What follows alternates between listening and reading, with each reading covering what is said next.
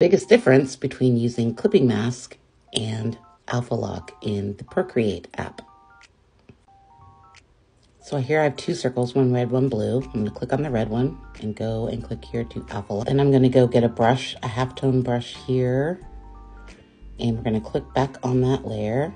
You can see that it's grayed out, so we can draw right over the top of it. Then we're going to create a new layer over top of the blue layer. And then we're going to draw over that. We're going to go back to that third layer and click here and go to clipping mask.